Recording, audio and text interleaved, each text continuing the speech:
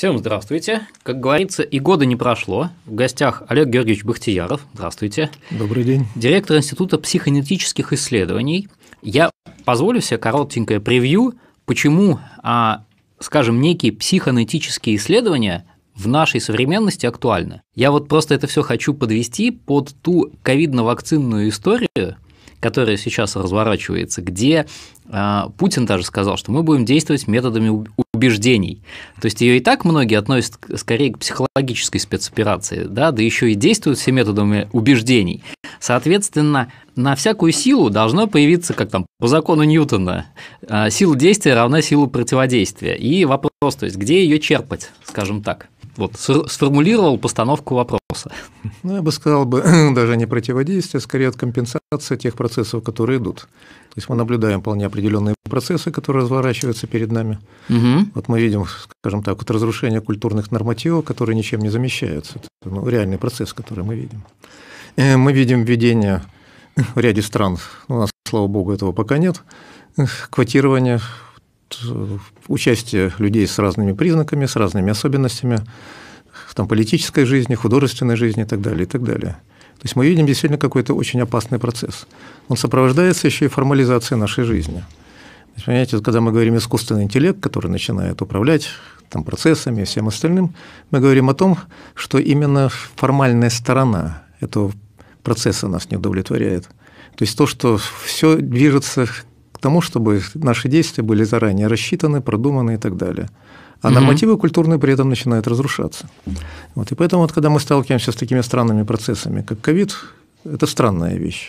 Понимаете, вот, она странная и по характеру протекания самой болезни, и по реакции на нее, и все остальное. Ковид нам нельзя обсуждать, нас сразу забанят на Ютубе. А Можем его а просто мы, как, мы как пример взять. Мы, мы его не будем это, трогать. Да, я хотел сказать, это как раз из темы того, что мы живем в свободном обществе, где есть куча закрытых тем при этом. Да, да. Мы не будем трогать ковид и реакцию на него, но мы только лишь можем сказать, что действительно разворачиваются странные процессы.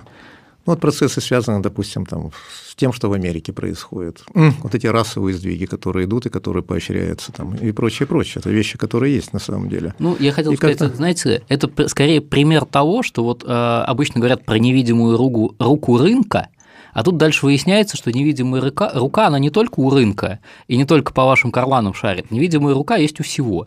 А это называется манипуляция общественным сознанием, когда это же начинается все довольно хитро это сделано. Сначала под эту научную основу подводится, потом mm. начинает внедряться. Но я опять хотел бы вернуться к тому, как этому попытаться противостоять, потому что, насколько я понимаю, это начинали изучать достаточно давно, и нам есть на что опереться, скажем, человечеству в целом. Нет, ну, смотрите, вот я говорю, речь идет скорее о некоторой альтернативе, которая может развиваться. То есть, когда вы видите процессы, серьезные процессы, которые идут, вы их не остановите, а если остановите, они с большей силой только лишь будут идти. И можно только лишь разработать какую-то систему не противодействия, а компенсации, альтернативности. То есть тогда, когда у нас появляется другая сфера нашей активности. Ну, если у нас все становится формализованным, для нас что остается? Сознание, по большому счету. Движение внутрь сознания. Но движение не как уход от окружающего мира, а наоборот, то движение, которое придает нам дополнительные силы. Точно так же, как формализация процессов придает дополнительные силы, искусственным интеллектом, там, управлением, всем остальным. Точно так же движение внутрь сознания должно придавать нам дополнительные силы, чтобы действовать в этом мире. То есть можно уходить в сознание, можно покинуть этот мир, там, пожалуйста, сколько угодно практик Главное, существует. что эти силы там есть. Но они там есть, и они могут быть направлены сюда. То есть вот мы подходим к такой вот переломной точке, когда, смотрите, вот человек формируется культурой, правильно? Вот у него есть врожденные качества, это одна его составляющая. Другая составляющая – это то, что культура с ним сделала, с этими качествами. То есть люди, попавшие в разные культурные условия, с одинаковой генетикой, они будут по-разному реализованы. Ну и наоборот. Ну, там много слоев. Это же да. довольно знаменитая книжка да. «Игры, в которые играют люди». Да. А, а я только автора не помню.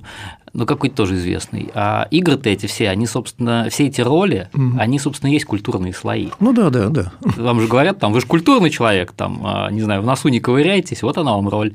Да, а вот когда мы сталкиваемся с этими явлениями, что что-то начинает нами управлять не совсем хорошо, неважно, с помощью кнута или пряника, что гораздо хуже, но когда оно начинает нами управлять, мы должны выработать другие подходы, другие взгляды на это дело. И тогда у нас появляется еще третья инстанция. Вот помимо того, что у нас есть, я говорю, наша генетика, там, наша принадлежность, то, как мы обработаны культурой, как мы созданы ею.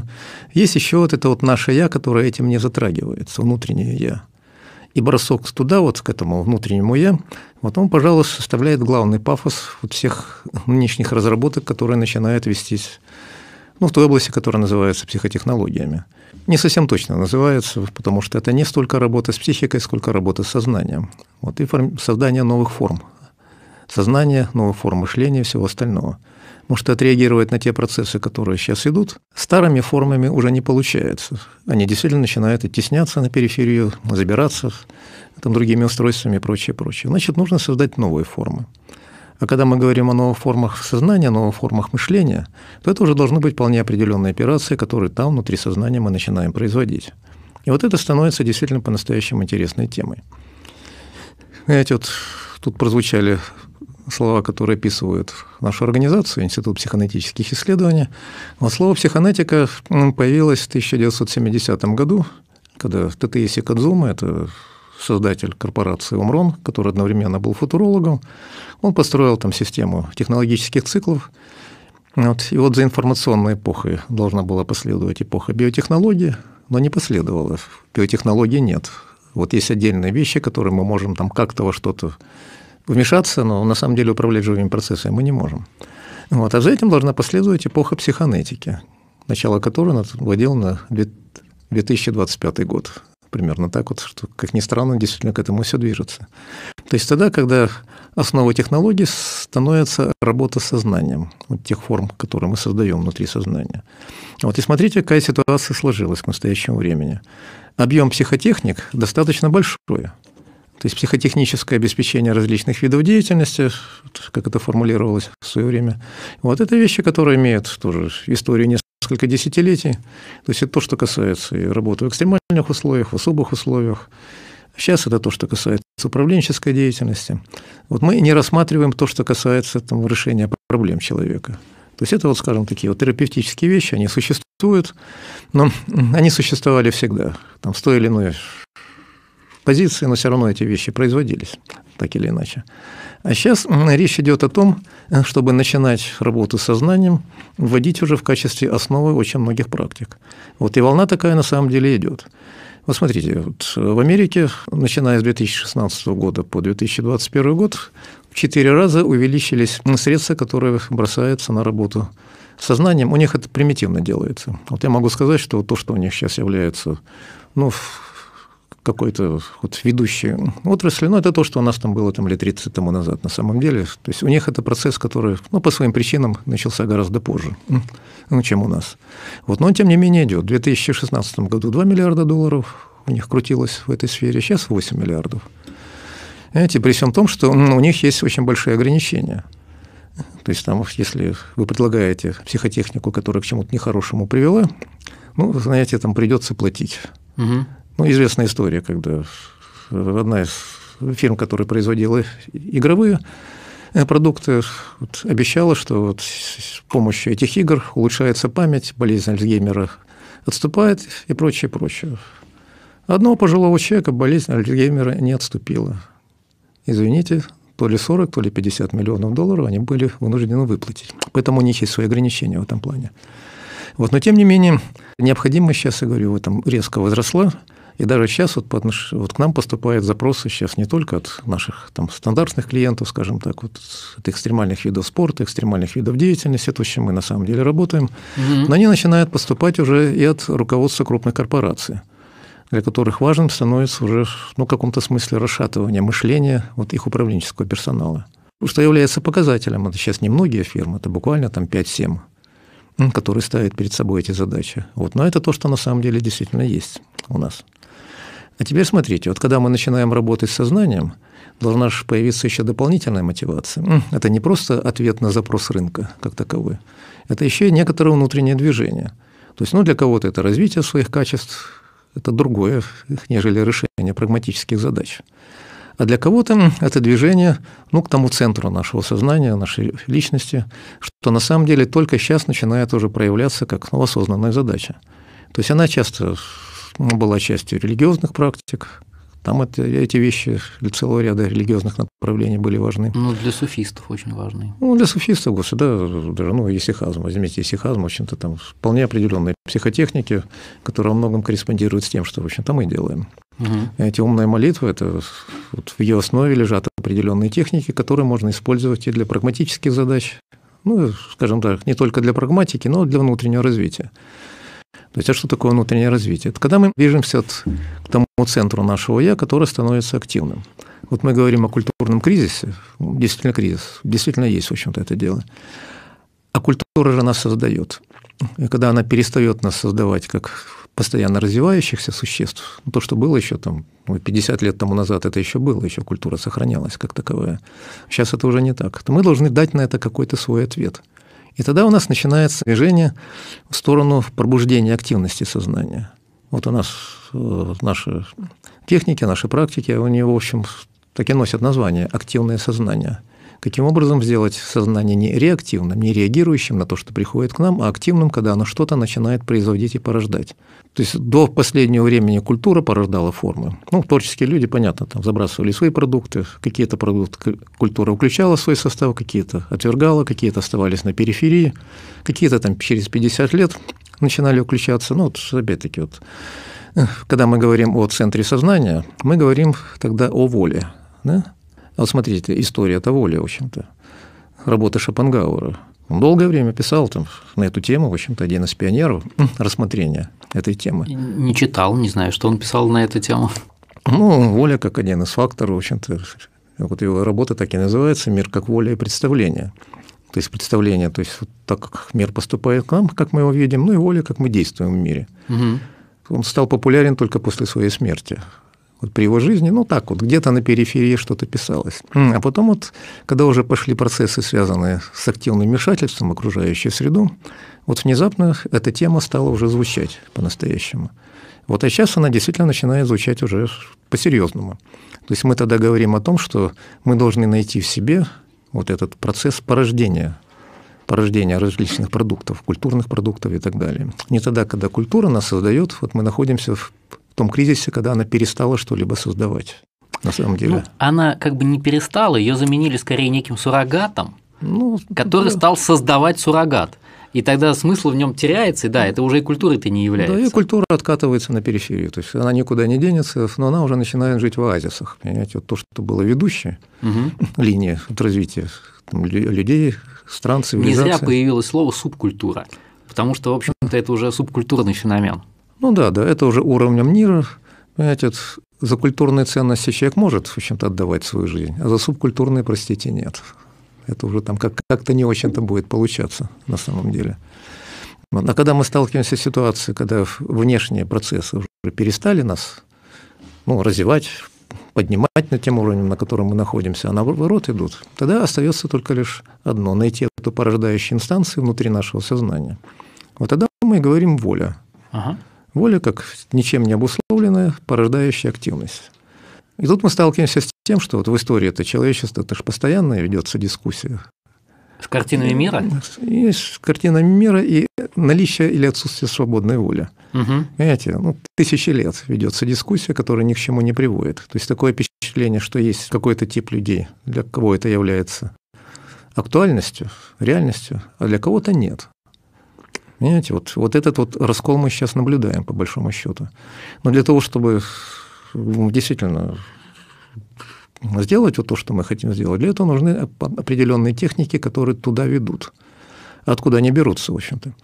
Вот они не могут взяться из терапевтической практики, потому что там нужно человеку, у которого есть проблемы, ну, вытащить на более-менее нормальный уровень. Для социализации. Для социализации. Ну, на самом деле, как положено там, во всякой практике, там, значительные ветви этого просто делают себе постоянных клиентов, когда психоанализ длится там 10 лет для человека. То есть, понятно, это не решение проблемы, а в каком-то смысле взаимодействие, но частично включение в обычную жизнь. Ну, я вам могу сказать, что я общался с ведущим специалистом в Кащенко, он сразу говорил такую вещь, например, что никто в мире не лечит шизофрению. Во-первых, потому что ей точ- точного определения нет. Угу. То есть они могут выписывать различные химические препараты, которые так или иначе будут гасить угу. мозговую активность в той или иной степени, чтобы человека, да, плюс-минус социализировать. А у нас в Советском Союзе, на Западе, кстати, такого нет. В Советском Союзе была разработана техника, когда вводили в кому, и это искусственная кома. Но опять же, это, это по-моему, Ростов называл, школа там сохранилась. Но они ни за какие деньги, никто на этот риск не пойдет, потому что это ответственность на врачах. Ну, а да, там не факт, да. выйдете вы из нее, не выйдете. И это тоже не дает гарантии, но бывают такие случаи, что человек перепрописывается полностью. Это я вот там к картине мира и к схемам мира пытаюсь там подводить. Нет, ну да, в общем, когда мы имеем дело с шизофренией, мы имеем дело с серьезным процессом. Ну там просто картина мира, человек может меняться полностью. Вот они его ввели, он, прошел, по сути, прошел клиническую смерть, вышел, она будет снова писаться с чистого листа. Знаете, да, потому что, смотрите, мы формируемся определенной картиной мира, она условна. Вот та картина мира, которая сейчас, вот ее не было 200 лет тому назад. Не было. И не будет через 100 лет точно так же. В общем-то, она сменится совершенно другой. Вот. Но у нас вот есть вполне определенные вещи, которые мы считаем, что они проявляются тут, а других вещей быть не может. А, ну, смотрите, вот система совпадения, например. Угу. Вот, она обозначена, термин есть, ну, наш жаргонный термин психологический, который вел Карл Юнг, а каузальная псих... каузальные синхронистические зависимости. То есть тогда, когда идет совпадение событий, между которых нет причинно-следственной связи. Ну, вот как пример, я часто рассказываю пример моей матери, в общем-то, она ну, работала после института в травматологии. По травматологии ночью привозят человека с откушенным носом. Очень редкая травма, могу сказать, что я сомневаюсь, что в Москве там чаще, чем раз в пять лет откусывают носы. Ага. Вот. Из другого района города в ту же ночь привозят другого человека с откушенным носом. Связи между ними нет никакой. Носы откушены разными женщинами. Понимаете? То есть никакой связи нет. Но тем не менее это события, которые совпали по времени. Вот. Они связаны между собой, а способа описания этой связи у нас нет. У нас нет способа описания событий, которые совпадают опять-таки по времени. Но другой пример, который тут тоже знаменит, он используется во многих работах биологических, где постулируется наличие морфогенетических полей и всего остального. Э, где-то в середине 30-х годов в Европе вороны научились открывать пивные бутылки. Долгое время это им не удавалось. И буквально через несколько дней вот этот навык распространился не только в Европе, но и в Америке. Ну, как вы понимаете, вороны не перелетали через океан. Через Атлантику. Да. Ну, про обезьян еще рассказывают, как они картошку учатся мыть. Да, вот то, то же самое. Ну, то же самое происходит и у людей. Но та картина мира, в которой мы находимся, она отвергает эти вещи. Она говорит, ну, случайные совпадения. То есть мы не можем это описать. А почему не можем описать? Нет соответствующей схемы мира, и она не подтверждается формами мышления, которые их поддерживают. Очень хорошая мысль. Отсюда мораль, в общем-то. Нужно разрабатывать эти новые формы мышления. А, а про пистолет расскажете? Вы мне говорили, что про пистолет расскажете. Ну, про пистолет. Еще, еще один пример. Да, ну, пример, который, который более крутой, чем э, там вороны с пивными бутылками. Да, ну это вот случай, который наблюдал который, когда его рассказываешь, это можно и не поверить. Вот, но представьте себе как мысленный эксперимент. В 2012 году я был в Сирии, ну, меня пригласили там работать по аналитике. Угу. Анна Нилс пригласила эту организацию, увы, покойный Марат Мусин. Я знаю, мы с ним общались. Он да, да, да, очень бодро себя нашел там, все время говорил, я всем, я всех вытаскиваю на передовую, сразу всех на передовую вытаскиваю. Да, ну, ну я говорю, ну, поразительный человек, в общем-то, и творческий человек, и много чего написавший, и разработавший многие доктрины, тем не менее участвовавший во всех этих событиях, которые происходили. Вот. Но в 2012 году там ситуация была отнюдь не такая, как сейчас. Дамаск, в общем-то, он так наполовину контролировался правительственными войсками. Нам раздали оружие, ну, пистолеты местного производства. Вот. Ну и когда ты получаешь оружие, его же нужно проверить, в общем-то, работает ли он. Вот что делается? Вот пистолет, пустой пистолет, вставляется туда магазин 8 патронов, ну, они выщелкиваются, передергиваете затвор, вот, и вываливается, патрон выскакивает. 8 патронов выскочило, больше ничего нет, но Люди военные знают, что иногда незаряженное оружие стреляет. И поэтому контрольный спуск. То есть вы направляете пистолет на угол стены и пола, передергивается затвор, спуск, щелчок. Вот и наш переводчик именно так и сделал. Он сделал, передернул, все, ничего нет. Даже когда потом эту историю начинали описывать, что там где-то задержался патрон, в стволе, ну что? В стволе, в автомате еще можно себе представить, в пистолете, ну, где он там может быть. Да, и вот зачем-то он передергивает его второй раз. Ну, просто так уже играющий, уже не направляет сказать, в нужное место. Спуск, раздается выстрел, пуля пробивает раритетный диван, на котором э, спал первый президент Сирии. Ну, в том помещении у нас эти работы проходили. Ну, потрясение, конечно, понимаете. Для человека это было потрясением. История там имела свое окончание, когда, он, когда мы ради успокоения уже этой ситуации, кстати, вынуждены были распить бутылку местной водки. Вот, и на высоте этого дела он, у него было теологическое откровение. Он сказал, Аллах творит из ничего боеприпасы для сирийской армии, сказал. Вот. Но это было весело, а тем не менее, смотрите. Но тем не менее, вы подошли к картине мира, где Аллах творит боеприпасы. Это тоже картина мира, кстати. Да, да, да, но смотрите, в общем-то, ведь как мы можем это описать? Ведь тут мы не можем сказать, что вдруг патрон откуда-то появился. Произошло событие, которое потом у нас как бы развернулось на гильзу, на пулю, на выстрел. То есть описать эти вещи мы не можем. Вот тем не менее, время от времени такого рода события происходят. Ну, на периферии нашей жизни мы отвергаем эти вещи, вот, но тем не менее они происходят. Э, ну, смотрите, иногда э, желание человека приводит к тому, что оно реализуется. Бывают очень экзотические желания. Я просто хотел себе пометить, что у нас почему им не уделяют должного внимания? Потому что у нас эти события пытаются не осмыслять, а объяснять. Давайте мы увидим что-нибудь необычное, а потом как это там есть бритва Акамы. Кстати, никакой монах Акама никакую бритву там не придумывал и никогда не говорил, что нужно все отбросить. Mm-hmm. То есть это уже там выдумки и додумки. Вот, это все появилось там в период просвещения. Ну, культурный продукт. Да, да, да, да. То есть а, на самом деле, если бы люди шли не через попытки объяснить, потому что они берут, давайте это объясним как-нибудь, mm-hmm. не расширяя картину мира, а вот держа ее в этом зауженном диапазоне, который нам дали. Mm. И обязательно, если вы захотите, вы какое-нибудь объяснение придумаете. Я же вот вам сейчас только что сказал, что ну там в стволе наверняка он был. И любое, я вот уже много раз с чем сталкивался, любое, вот что бы вы ни рассказали, как, насколько было бы необычным. Если человек хочет как бы говорить, я вот тут, знаете, как бы скептик, это очень модно, а, я не говорю, что не надо быть скептиком. Я просто к тому, что это когда берут с водой ребенка выплескивают из этой там. Я сейчас объясню.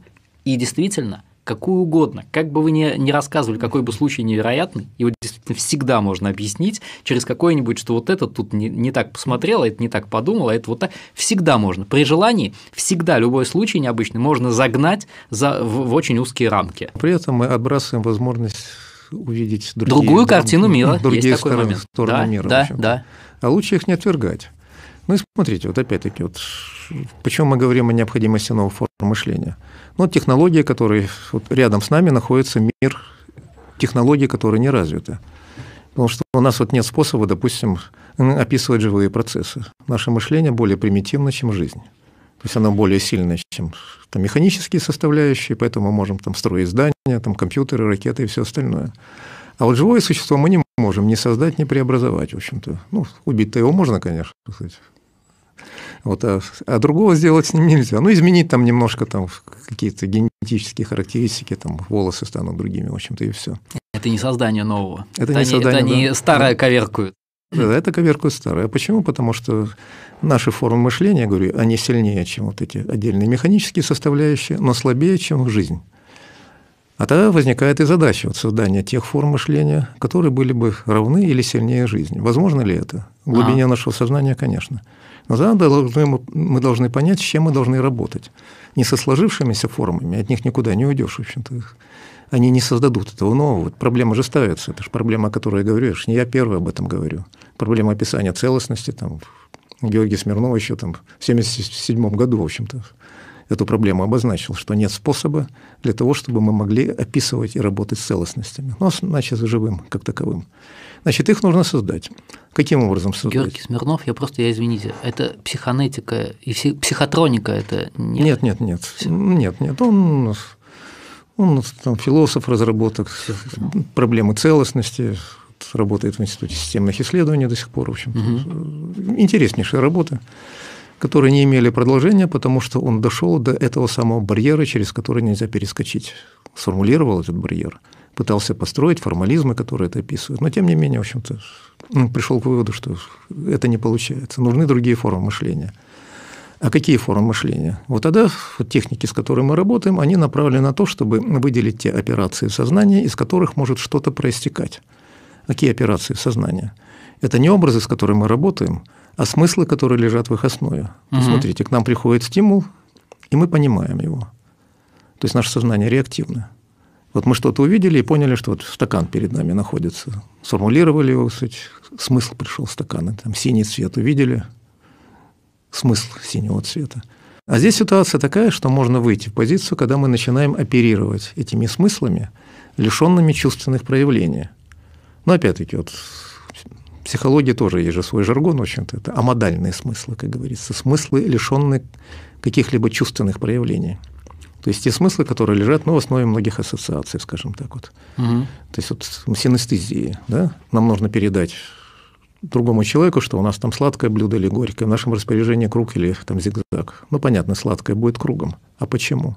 В основе лежит вот базовое смысловое переживание. Вот когда мы выходим туда, нас этому не обучают с детства, нас обучают выполнять приказы, которые к нам приходят, и все. Но когда мы выходим туда, мы начинаем производить эти операции со смыслами, а какие там операции? Мы же их не извлекаем, не наблюдаем, мы их создаем, порождаем. И вот, вот тут мы и подходим вот к этой точке, о которой я говорю. Выявление той волевой сердцевины, которая у нас есть. То есть, опять-таки, воля, которая порождает новые вещи. Угу. А для этого порождения причины основания нет. Потому что любые причины и основания, которые находятся перед нами, да, они к нам придут, мы их поймем и начинаем действовать таким образом. А тут действия, у которых нет причины. То, что не может быть не описано, не рассмотрено не только в современной картине мира, а в любой картине мира, которая описывается тем языком, которым мы пользуемся. Ну, язык как он настроится? Мы же описываем мир последовательно, поэлементно, да? А я бы сейчас попросил какой-то пример, хотя бы абстрактный, того, что вы сейчас рассказали. Пример? Хотя бы абстрактный. Например, как организовано наше мышление? Нет, вот того, Или как, как мы выходим за его пределы? Вот этого, да, как выходим за пределы, и вот эта вся волюнтаризация сознания, так, насколько я понимаю, вы вот это описали. Да, да, да, да. Да, но это, но это процесс, в общем-то. Вот. Понимаете, вот какая здесь возникает сложность? Мы можем описать процедуры, которые к этому ведут. Вот каким образом можно уйти от организованных форм, переживаний, их смысла. Угу того, что находится в их основе. Вот процедуры такие есть. Ну, вот они у нас отработаны, в общем-то, с ними мы работаем. Можно пример. Я же, я же очень прошу пример, потому что люди сейчас не поймут, о чем мы ну, вообще говорим. Э, очень много слов, в них теряется суть. Да. Вот какой-то на примере эту суть можно показать? Да, не, ну, не описать? Ну, при, да, ну представьте себе там красный круг, допустим, и синий круг. Да. Вот вы его представили перед собой, да? Вот, а потом в своем же воображении занавесьте там, занавесочкой. Угу. Вы знаете, там находится красный, там находится синий, но это же внутренняя операция. Угу. То есть вы его не называете, но знаете. Вы его не представляете, но знаете. А потом проведите операцию, когда цвета у них поменялись. Синий стал здесь, красный стал здесь. Вот когда вы несколько раз такую операцию проведете, вот если вы не обучены этой технике работы со смыслами, вы потеряетесь. То есть он все время стремится во что-то развернуться. А тут мы вытащили этот смысл – а потом мы его направили ну, куда-то в другое место, скажем, там, в область фигур. Угу. Вот красный превратился у нас в треугольник, а синий, допустим, превратился в круг. Понимаете, а что лежало в основе? Вот это вот а, то переживание, которое превращается во что-то. А потом оно начинает превращаться в действие. Вот смотрите, вот если мы создаем какой-то смысл, ну, сказать новый смысл тоже там противоречие. И все смыслы нам даны с одной стороны, а с другой стороны, когда мы с ними работаем, мы их как бы создаем из ничего. А как мы его можем создать? Ну, смотрите, вот есть процедура разотождествления нашего «я». Ну, ну, опять-таки, тысячи лет этим процедурам. Во многих практиках они используются, когда человек последовательно начинает понимать, что вот его тело – это не я, в общем-то, эмоции его не я, оценки его не я, и даже действия, которые он производит, разотождествляясь, это тоже не я. И вот он выходит в эту ситуацию внутренней пустоты. Вот структуры уже все вынесены перед ним. Вот когда он производит действия отсюда, из этой пустоты, они уже ничем не определяются. К нему уже не пришли никакие стимулы, они все находятся перед ним. И тогда это то, что выбрасывается наружу перед ним. Вот тут возникают, конечно, свои вопросы, в общем-то. Понимаете, когда мы об этом начинаем говорить, то возникает вот первый вопрос, а к чему может привести такой статус человека? Произвол начинается – на самом деле это не произвол. И тоже нужно понять, в общем-то, почему это не произвол. Представьте себе, что вот собрались люди такого типа, вот, у которых пробуждена вот, угу. их воля, и над ними нет начальства. Есть образ анарха у Юнгера, угу. у Эрнста Юнгера. То есть человек, который он может включаться в различные процессы, но он никогда не включается в систему подчинения. Вот когда такие люди собираются, они не могут друг другу ничего навязать. Правильно? Ну, невозможно навязать. Угу. Насилие не пройдет, в общем-то. Ну, Но мы подходим к тому, о чем мы говорим. Мы будем действовать методами убеждения, методы убеждения не пройдут. Ну да, до метода убеждения не пройдут. А что будут представлять собой эти люди, для которых убеждения не действуют, угроза не действует, насилие не действует? Вот как они начинают взаимодействовать между собой? Вот тогда уже и начинается взаимодействие, потому что я не могу установить свою власть над другим человеком таким, он не может установить власть. Вот, но мы же должны взаимодействовать, мы все-таки, получается, вот вышли в какой-то единый статус. И тогда начинается взаимодействие, которое очень трудно описать вот обычными словами. Но тогда мы ценим то, что вот другой такой же, как я. Вот когда этот опыт у нас появился, смотрите, тогда мы его по неволе переносим на процессы, в которые мы включены. Угу. То есть, опять-таки, вот процессы либо осуществляют насилие над нами, вот и мы убегаем от них, либо мы осуществляем насилие над ними, либо вообще, кстати, покидаем эту жизнь. А тут начинается взаимодействие. Ну, как с равным, в общем-то. Тогда угу. вот то, что для нас было принудительным, действовало на нас, оно внезапно становится нашим партнером. И тогда мы переходим уже в ситуацию совершенно другую. Вот, вот это и есть волонтаризация сознания и взаимодействия, которые могут быть там. Понятно, что этого нет. Это скорее вот как некоторый проект. Вот, и даже независимо от того, может он быть, будет ли он реализован или не будет, движение в эту сторону оно начинает порождать очень многие дополнительные реальности нашего сознания. То есть у нас появляется возможность создания картин мира. Картина мира господствует над нами. Mm-hmm. Вот то, что mm-hmm. мы говорили, вот, ну, невозможно выстрел из незаряженного пистолета. Он иногда происходит, тем не менее. Знаете, вот когда мы начинаем об этом говорить, а там мы начинаем уже создавать и формы мышления, которые это описывают. А форма мышления, смотрите, что у нас не описывается. У нас не описываются контексты. То есть вот что-то происходит, операция, которая у нас есть, в общем-то, скажите слово «коса», в одном контексте это будет коса у девушки, в другом это будет коса в руках, в третьем будет там песчаная коса и так угу. далее. А сам контекст мы не улавливаем, вернее, мы его не выражаем. То есть мы как сознательные существа его знаем, переживаем. Ну, вот поэзия на этом построена, на контекстах, по сути дела, там дополнительные знания, которые к нам идут. А вот как вытащить вот эту операцию? И тут мы сталкиваемся с проблемой, с которой мы действительно работаем. Сейчас она начинает уже и транслироваться, и вот, вот лекции на эту тему у меня там будут буквально завтрашнего дня в Новгороде. Вот каким образом мы можем создавать эти новые формы мышления? Потому что когда мы их создаем, смотрите, что у нас происходит. Мы должны произвести внутреннюю операцию сознания, а для того, чтобы она начала работать, мы должны выразить в какой-то форме. А те знаковые формы, которые у нас есть, для этого не подходят. Тот язык, которым мы пользуемся, он, ну, он последовательно перечисляет элементы. А люди ведь э, иногда воспринимают всю ситуацию целиком. Вот смотрите, вот люди, которые попадают в экстремальные ситуации. Понимаете, ну вот мне там по роду своей работы приходилось работать во всех этих горячих точках. Угу, Последние семь лет я уже так живу спокойной жизнью, в общем-то. А до этого она была не совсем спокойная. Вот я наблюдал людей, которые в состоянии были определять места залегания мин, скажем так вот. Ага. Место, куда упадет снаряд. Понимаете, вот это вот чувство того, что сейчас вот эта ситуация опасная, лучше из этого помещения уйти. Причем это не профессионалы. Военнослужащего обучаются, есть перечень ситуаций, перечень реакций на них, поэтому у них это в меньшей степени выражено.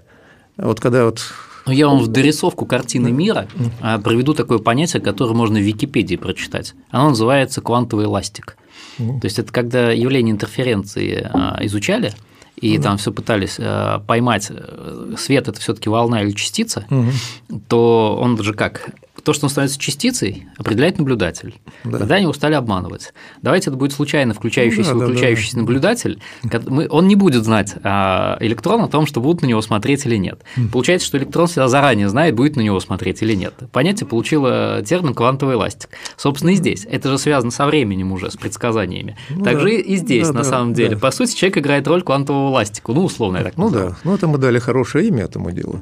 А нам же важно не только дать имя, Нет, а нам картина мира. Него, и сделать из него операции, которые мы можем производить. Понимаете? Угу. То есть мы вот как-то описали этот процесс, вот эти странные вещи, которые происходят, и слава богу, что физики смирились с тем, Но что странные вещи они происходят. Они по-своему да. к этому подошли. Да. Они в боевых э, действиях не участвовали, в ну, горячей да, да. точке не ездили. Они вот эксперименты делали, у них здесь парадокс случился. Ну да, да. А вот эту вот связанность мира ее уже нужно как-то описывать. Правильно? Она в том-то и дело, понимать, что вся эта фактология, она никак не связывается. И я не знаю, я не могу сказать, но я не вижу а, запроса у современной науки увязать вот эти не попадающие в э, картину мира, там у нее очень много уже составляющих накоплено, от квантового ластика, да еще до чего-то, да, до людей, которые определяют демин заложенные.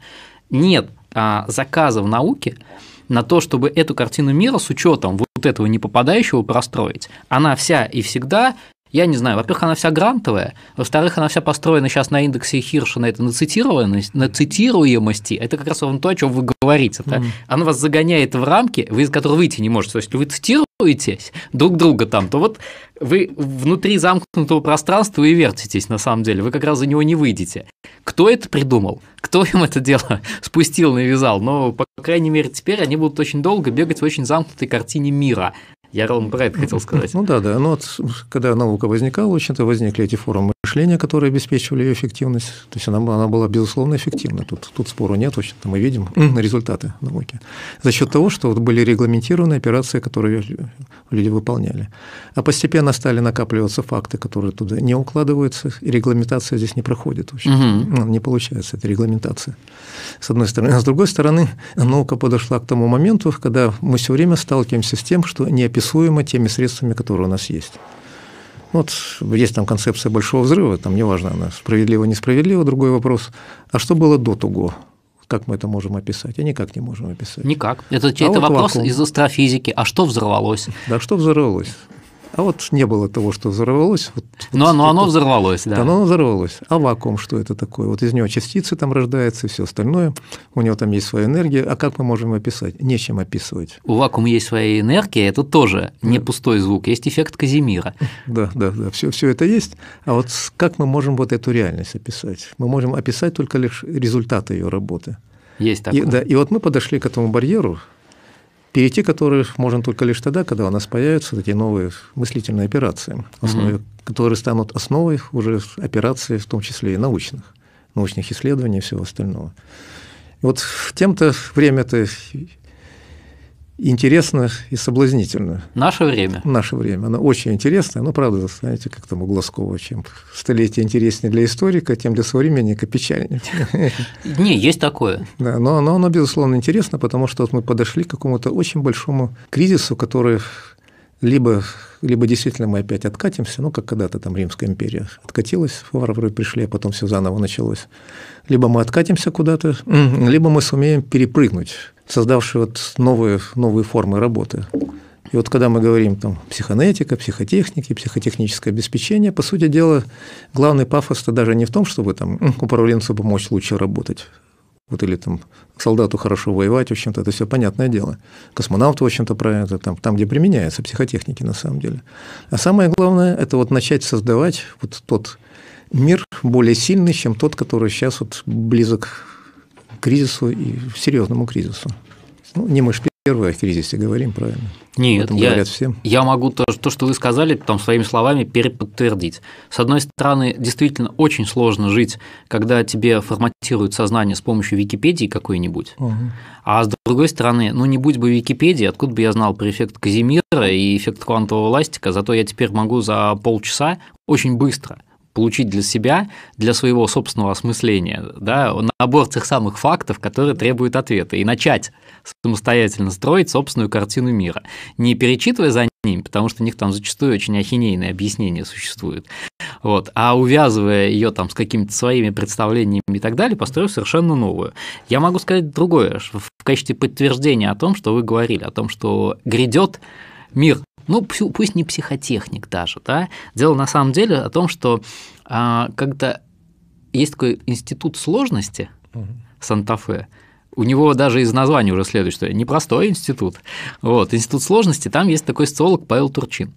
Он, собственно, сказал, что что, следующее столетие – это столетие социальных наук. Социальные науки, на самом деле, у нас это такое банальное представление о том, что это какое-то там изучение общества. Uh-huh. Я в свое время кучу учебников по социологии перечитал. Они все как под копирку пишут одно и то же. Про то, что собрались общества, потом из него появилось буржуазное общество, там родилась демократия, и это демократические институты развивались, а потом это, это все вот это бла-бла-бла-бла. Как бы, а это называется у них социальной наукой. Реальная социальная наука, она у них как раз построена на этом самом, как правильно убеждать людей. Она изначально была, во-первых, а, подбита под... Она у них вся математическая, То есть не наша социальная наука, а там всегда математическая. Сколько процентов людей переубеждают, сколько процентов людей. Ну, она... В результате действия на каждый сегмент. Вот когда мы видим э, пропаганду, как она строится, она действует на один сегмент, на второй, на третий, причем зачастую одному сегменту преподносится нечто противоположное, чем другому сегменту. Понимаете? Там они идет. эту науку развили, а они, там нет социальной науки как таковой, это mm. нам так кажется. Там, вы знаете, что у нас при Сталине а, не было социологии, она появилась только при Хрущеве. И это ставит в пику, в пику Сталину, а, потому что они называли это буржуазной. Конечно, это буржуазная наука. Это наука. Они вырабатывали науку, как управлять людьми без кнута. Как раз вот то, о, о чем вам говорите, да, с кнутом, с пряником. То есть они научились ей управлять, по сути, и без кнута, и без пряника, с помощью манипулирования. Это требовало серьезных исследований. И все эти исследования у них там в социологии, они направлены не на демократическое общество совершенно. Они направлены именно на том, а, есть, по-моему, Саманты Пауэлл, небезызвестный муж по фамилии Санштайн. У него есть целая своя работа, которая называется там технология подталкивания. Он был, кстати, консультантом у Обамы, если я не ошибаюсь. То есть это вот все есть вот это, когда говорят там мы в работе там, с вакцинацией будем действовать методами убеждения. Вот убеждение немножко неправильное слово. У них давно разработана система подталкиваний, как бы, где вроде как ваше решение, но на самом деле не ваше. Ну, да, а да. еще такая интересная штука построена, что вот вы обращали внимание, мы же сейчас про разные вещи, можем же про экзистенциональные поговорить. Там, дьявол а, только подписывает договора. Никогда и светлые силы договора не подписывают с людьми, да, как мы возьмем там, от сказок Гофмана до всего остального, там как появляется дьявол, у него договор сразу. И так же у них, как у дьявола, обязательно твое добровольное согласие наше, то есть они тебя вакцинировать просто так не могут, но только при условии, если ты сам добровольно на это согласишься. Это как темные силы, которые про вампиров показывают в кино, когда, пока их не пригласишь, они войти не имеют права, их пригласить надо. Ну, типа сказки, но тем не менее. В основном это лежит опять-таки. Вот, некоторое управление, когда человек не контролирует то, что, то, что им управляет. Потому что насилие, оно проще, в общем-то. Я сохраняю свою внутреннюю убежденность, так сказать. Я подчинился, ушел, так сказать, но я знаю. А тут я уже не знаю. Тут это именно, то, именно. А манипуляция и нужна тогда, когда вы не хотите получить человеку что-то доброе. Для этого манипуляция не нужна, вы ему и так это дадите. Все эти убеждения, подталкивания, еще чего-то нужно только тогда, когда вы должны человека принять какую-то вещь, которая ему как бы либо вредна, либо не нужна. Так, чтобы он это не осознавал. Это я уж сейчас не помню, кто из э, тоже социологов, психологов американских именно вот вы, вывел, что такое манипуляция и как бы когда она как инструментарий появляется. А у меня такой вопрос еще в заключение хотел спросить. Помните, вы сказали, что психотехники применяются там и вот там, и еще у космонавтов. Вы же с космонавтов начинали или нет? Нет, у нас вот первый заказ, который у нас был в 80-м году, я работал в Институте психологии в Киеве. Ага. Вот он касался как раз обеспечения длительной работы, бесперебойной работы ракетных расчетов. То есть там дежурство 12 часов, человек, понятно, устает и так далее. Ну, американцы на амфетаминах всех держат. Ну да, но у нас вот другой был подход, в общем-то. Ну, там пытались использовать там, технику релаксации, там, ага. там, раз там три часа там расслабиться и все остальное, но он же выходит тогда из деятельности. Рядом велись работы, тогда они носили, тогда они были под грифом, скажем так, вот это обеспечение режима непрерывной деятельности. А что такое непрерывная деятельность? Человек, оператор, трое суток без права сна угу. выполняет работу. Ну, понятно, на, второй, на вторые сутки у него уже легкие галлюцинации начинаются. Вот, ну, и, как показывал тогда опыт, как показывали исследования, последствия проявляются еще в течение полугода после этого. Но если мы вводим, опять-таки, релаксацию, да, это частично снимает проблему, но он выходит из деятельности. И там мы разработали вот эти вот системы деконцентрации внимания, которые позволяли осуществлять деятельность вне, не выходя из нее. Вот человек распределил внимание, ну, это своя техника, там, ее долго рассказывать, в общем-то, но она есть. И у нас начались контакты тогда вот с Центром космического зондирования. Они-то они очень-то афишировались. Тогда Центр космического зондирования входил в систему военной разведки. В общем. Угу генерал Ханцеверов, в общем-то, интереснейший человек, в общем-то, который возглавлял, в общем-то, у них накапливались данные такого рода. Вот, и у нас постепенно тематика стала смещаться в сторону ну, сохранения работоспособности в измененных состояниях сознания. А почему в измененных состояниях сознания? Ну, смотрите, уже военный космос тогда предполагалось, что будет развиваться. Вот, а системы, скажем, поражения технических объектов, они были еще далеко не совершенны. То есть ракету вы запускаете, станция определила, сделала маневр, ушла. Управление ракетой – это сейчас только лишь эти системы появились. Угу. Значит, что является уязвимым звеном? Оператор как таковой. Значит, на оператора нужно как-то повоздействовать. Вот. И в Америке началось исследование. Ну и у нас, естественно, дистанционного тоже, воздействия. Дистанционного воздействия, да. А нужно же поймать это воздействие. Если это воздействие выводит его из обычного состояния, нужно сохранить самоконтроль. Вот и вот тогда у нас начались разработки вот этих вот методов самоконтроля в измененных состояниях, продолжения деятельности. Это вывело опять-таки на переживание смыслов, и для нас это было, скажем так, некоторая прагматика, а рядом же развивались смысловые теории сознания, там Агафонова, Лохвердов, там все остальное, в общем-то, эти вещи стали объединяться. Для Центра подготовки космонавтов мы только лишь э, одну вещь у них внедрили, мы включили стенд подготовки. Вот эти вещи связаны с деконцентрацией внимания, когда человек одновременно воспринимает несколько объектов, динамику этих объектов и так далее. Вот эти вот вещи, связанные с сохранением самоконтроля, ну, тоже используют методы, но что вот, ну, кетамин Сейчас он запрещен как наркотик. Mm-hmm. Значит, закись азота, то есть то, что вызывает, в общем-то, легкий галлюциноз, а человеку нужно было выполнять деятельность все равно, несмотря ни на что. Несмотря на галлюцинации, да? Несмотря на галлюцинации. То есть, выполняя действия, которые для него совершенно иначе смотрятся.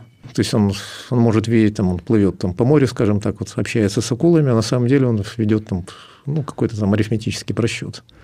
Выходит из состояния и продолжает уже в нужной, в нужной фазе. Это означает, что вот то, с чего мы начали, вот смысловое переживание становится для нас центральным. Вот ага. из него все остальное начинает проистекать. Понимаете, действие здесь. Откуда действие здесь? Отсюда, в общем-то, вот, из нашего сознания как такового. Для нас это было, конечно, таким ключевым моментом, в общем-то. Из а чего вся психонетика и выросла. А у меня тогда вопрос, а какая картина мира сложилась в результате у вас? Вот я Декарта приведу в пример, который говорил, что, собственно, мозговая деятельность не в мозгу происходит. Ну да, это не, она происходит не в мозгу, это ну, к этому уже постепенно склоняется по мере вымирания ну, носителей скажите, прежних какая, идей. Скажите, какая у вас теперь тогда картина мира сложилась по этому поводу? Ну, если возможно, взаимодействие с оператором, который сидит за пультом где-то, если вы его вообще не знаете даже, что это за человек. Смотрите, вот картина мира, которую… Которая бы объяснила такое, такое воздействие. Важно, чтобы она не только дала правильные имена, Ага. Вот имена даются, в общем-то, самые разные, а чтобы из нее проистекали действия. Вот я представляю себе вот таким образом. Есть мир сознания, вот, ага. глобальный, не локальное сознание, как сейчас принято говорить. Ну, а конечностью его является наше конкретное сознание. Угу. Есть то, что находится рядом с сознанием. Ну, то, что называлось там, внешним миром, угу. миром материи. Вот я его склонен называть тьмой кромешной, потому как она, тьма, мы ничего о нем сказать не можем. Кромешная там, кроме нашего сознания, за пределами находится. Вот когда мы сталкиваемся с тем, что принудительно действует наше сознание, ну, допустим, там стол, который мы наблюдаем, вот он принудителен для нас, вот мы не изменим его цвет, и самое главное, это рукой я не могу проткнуть. Вот это показатель того, что на сознание что-то действует извне. Mm-hmm. И вот есть мое сознание, и есть то, что во взаимодействии с ним создает наш феноменальный мир, который мы наблюдаем. Вот, но смотрите, ведь когда создается феноменальный мир, он же создается не только потому, что что-то на нас подействовало и как-то отразилось.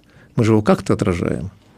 Но с помощью зрения мы превращаем вот нечто неопределенное вот в этот стакан, mm-hmm. правильно, в воду, там и все остальное. То есть у нас всегда, когда мы что-то обнаруживаем, мы его немножко делаем. Есть такое. Да. Ну и когда делаем, тоже что-то обнаруживаем. Я просто фамилию арабского философа не помню, который вот это дело прям объяснял. Ага. Ну вот у арабов было тяготение к тому, чтобы в основе лежала не вещь, а действие. Вот у Андрея Смирнова это очень красиво описано в его книге. Да, и вот когда мы сталкиваемся с такой вещью, с таким пониманием, понимаем, что мы можем начинать влиять и туда, на тот мир. Угу. И тогда становится понятно, вот как все эти феномены начинают проявляться. Вот смотрите, смысловой слой сознания, мы заговорили о смыслах, да? Вот тогда вот в этой картине мира слой смысла, он находится не в нашей голове, он не связан с нашими нейронными структурами, они модифицируют его, безусловно, управляют многими вещами, ну, как любая внешняя структура. Само по себе смысловое переживание, оно вот там. Опять-таки, вот я с нашим ребятам при занятиях я часто рассказываю историю вот если они будут слушать передачу, они со скукой отвернутся и скажут, в очередной раз рассказали. Но для меня она была очень показательна. Ну, смотрите, вот есть шаманы, да? Угу. Вот шаман, он отождествляется со своим тотемным животным и начинает с ним взаимодействовать. Как он начинает с ним взаимодействовать? На смысловом уровне. Вот я много лет тому назад, в конце 80-х годов, в Карпатах познакомился с, ну, с остатками местных шаманов. Уже они, по-моему, вымерли окончательно. Они уже не могли объяснить, как, в общем ну, там, батько навчив, вот где-то так. Вот тот, который был змеюком и работал со змеями, вот он показал, как он работает. Вот мы сидим на поляне ночью, он что-то делает, и к нему начинает подползать змеи с разных сторон. Вот я его спрашиваю потом, вот как ты это делаешь? Он говорит, ну, как, как? Ну, там, на карпатском наречии, таком не совсем украинский язык такой, закарпатский, в общем-то, русинский. Ну, як-як. Вони змеюки, и я змеюка. Он говорит, я же мужчина, а не женщина, вот они ко мне ползут. Знаете, а что происходит? Он выходит, этот общий смысловой слой сознания, и производит операцию там. Ага. И там начинается как бы реакция на это. Если мы таким образом начинаем описывать эти вещи, для нас становится понятно, как вороны, открывшие бутылку здесь, передали свой навык угу. туда, в Америку, как совпадает у нас события, вот и прочее, прочее. А самое главное, когда мы образовали это смыслами, которые мы извлекаем из форм, которые являются основой понимания, мы получаем как бы возможность создания методов работы. То есть мы не просто обозначаем, но обозначается это слой, это, можно сказать, энергоинформационное поле. Но из этого ничего не проистекает. Да, из этого ничего не проистекает. Да, там ноосфера. Замечательно. Вот. А вот в этой ноосфере, когда мы выделяем вот эту единицу смысла, вот там мы получаем операции.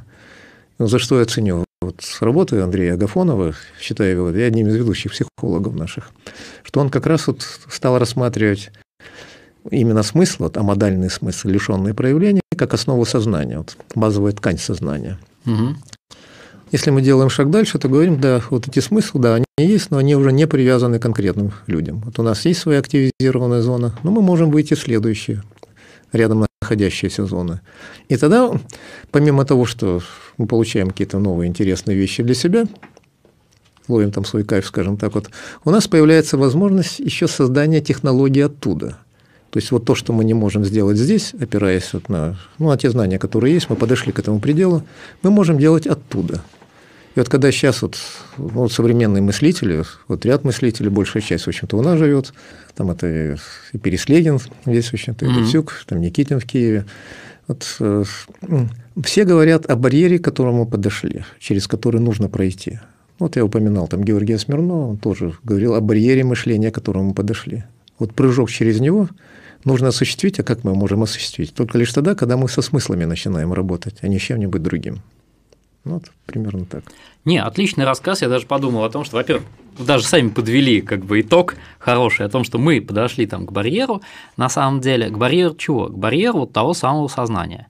Как да. только это сознание начнет способным быть работать со змеями, там просто надо еще одну вещь только понимать тогда, что наука, она у нас очень сильно тянет на объективизм. То есть, когда одни и те же люди делают один и то же действие, получают один и тот же результат. Типа это научно. Да, вот используют там, одни и те же приборы. Да, да, там надо сразу привыкнуть к тому, что разные люди будут делать одно и то же, используя одни там условные те же техники, получать разный результат. Да. Потому что там нету объективизма. Вот в том месте смыслов там очень сильно оно субъективно. Вот один человек может змей вызывать, mm. а другой условно там ворон, потому что он только вороной может стать. Я сейчас абсолютно условно это говорю, то есть не, не, чтобы никто это так конкретно и буквально не понимал. То есть речь идет вообще.